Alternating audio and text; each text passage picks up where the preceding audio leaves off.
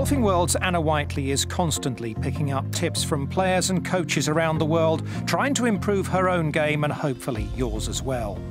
Today she's back at her home course, Bearwood Lakes in England with Simon Holmes and working on her short game.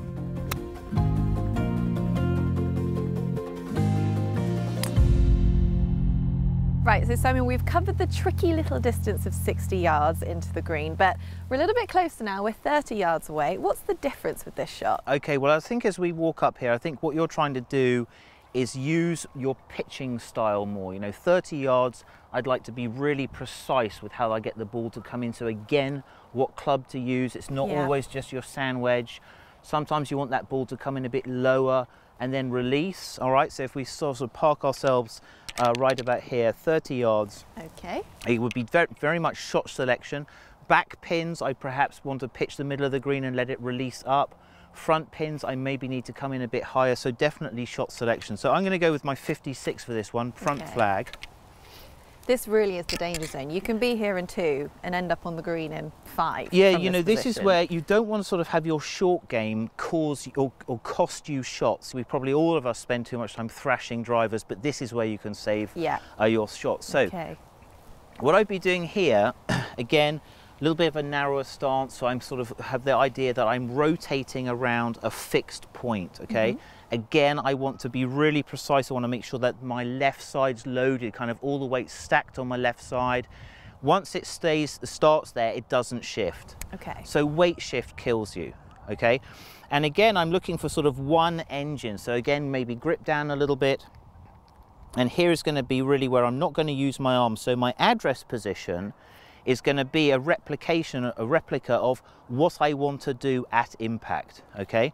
So at impact, I want to have my hands just slightly leaning forward of the ball, all right? So I make sure that I catch it nicely off the bounce, okay? And once I've set that, I'm not going to change it. So I don't want any wrist set, mm -hmm. and I don't want to be sort of having the feeling, oh, I'm pulling the club down.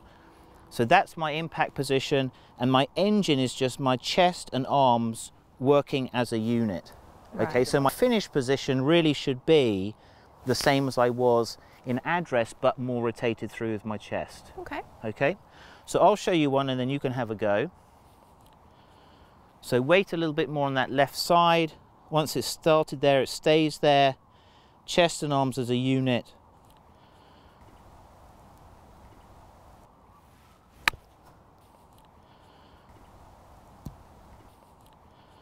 Lovely almost hit the pin. Yeah, and there I play a really precise shot, you know, quite difficult to pitch on the front of the green, but I've only got one moving part. Mm.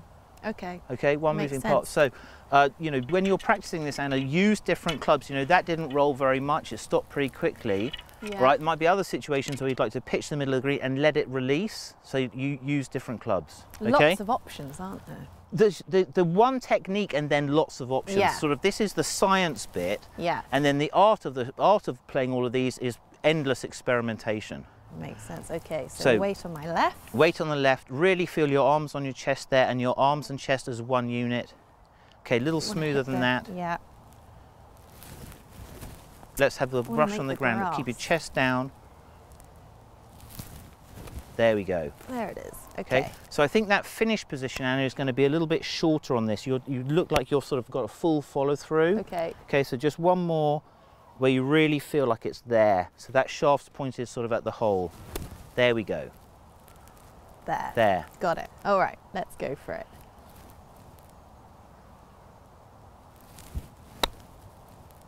Ah, perfect. Not bad at all. That's excellent. So it's a really compact action. Yeah. All right. You're trying to have the fewest moving parts possible. Okay.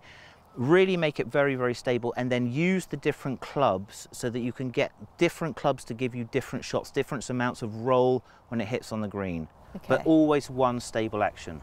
Wonderful. Keeping okay. it all together. Very simple, doesn't have to be complicated. Complicated is no good. Thank you very much.